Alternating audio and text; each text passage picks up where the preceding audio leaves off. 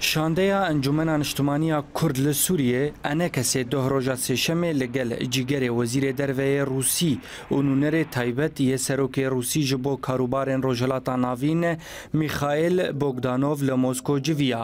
دیجیڤینێ de بەحسا پێشەڕۆژە سووریێ بگشتی و ڕۆژاوای کوردستانê bi تایبەتی هاتەکەرێنێ.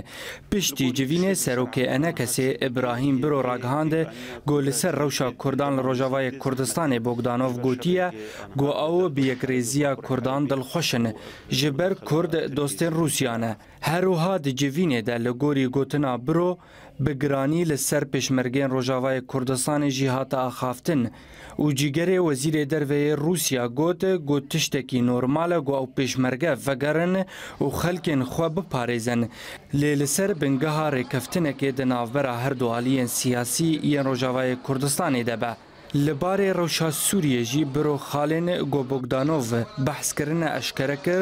got Rûsya piştgiriyê dide got destûreke ji bo Sûriya pêşeroj hebe got mafê hemû pêkhatiyan li xwe bigire bi taybet mafên Kurdan herûha dilxweşiyeke Rûsî heye got Kurd helwest û berjewendiyên xwe jî bikiniyeke